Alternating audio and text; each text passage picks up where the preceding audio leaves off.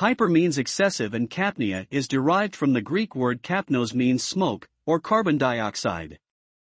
Together, excessive amount of carbon dioxide in blood is called hypercapnia. The amount of CO2 dissolved in blood is called PaCO2 or partial pressure of carbon dioxide in blood. An increased level of PaCO2 in blood above normal is hypercapnia. So, what's normal? In arterial blood, the level of PaCO2 is between 35 to 45, anything that's above is hypercapnia. It has two types in general, acute and chronic. Now, acute hypercapnia is the driving force behind CO2 narcosis. So the etiology of CO2 narcosis is depend on the cause of acute hypercapnia. Let's understand the etiology of CO2 narcosis or causes in detail. Although the etiology is complex, it's useful to categorize the potential causes into three categories decreased minute ventilation, increased physiologic dead space, and increased carbon dioxide production. Number 1. Decreased minute ventilation. First, what is minute ventilation?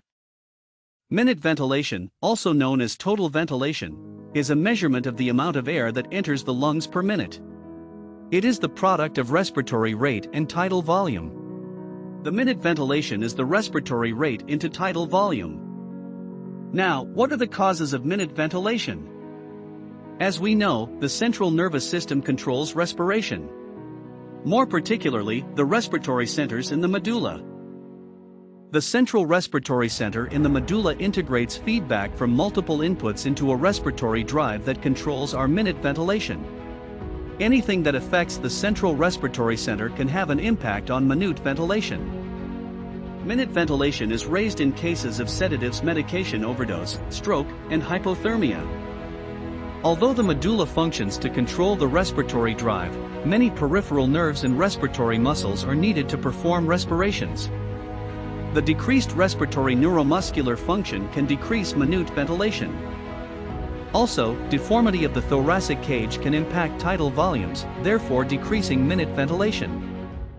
Next, increased physiologic dead space.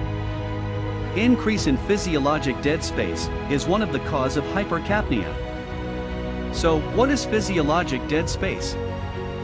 Dead space represents the volume of ventilated air that does not participate in gas exchange. The two types of dead space are anatomical dead space and physiologic dead space. Anatomical dead space is represented by the volume of air that fills the conducting zone of respiration made up by the nose, trachea, and bronchi.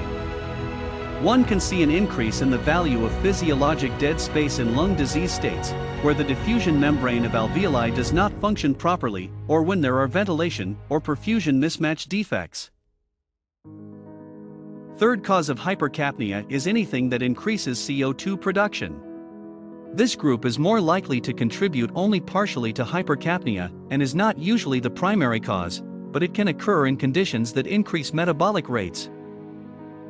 Environmental exposure to areas rich in carbon dioxides, such as volcanoes or geothermal activity, puts patients at risk for carbon dioxide poisoning. It can lead to sepsis, thyrotoxicosis or fever.